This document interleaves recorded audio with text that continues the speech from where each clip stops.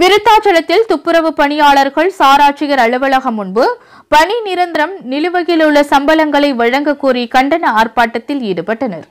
கடலூர் மாவட்டம் விருத்தாச்சலம் சுற்றுவட்டார பகுதிகளில் உள்ள அரசு பள்ளிகளில் பணிபுரியும் தற்காலிக பணியாளர்களை மூன்று ஆண்டுகள் பணிபுரிந்தால் அரசு ஆணையின்படி நிரந்தரம் செய்ய வேண்டும்.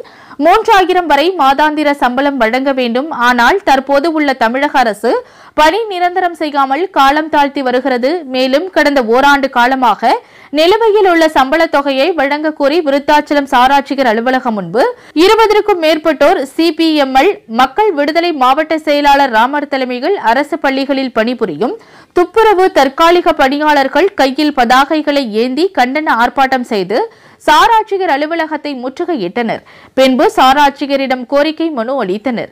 இதனால் அப்பகுதியில் சிறிது நேரம் பரபரப்பு ஏற்பட்டது. செய்திகளை உடனுக்குடன் தெரிந்து கொள்ள மீடியா செவன் தொலைக்காட்சியுடன் இணைந்திருங்கள்.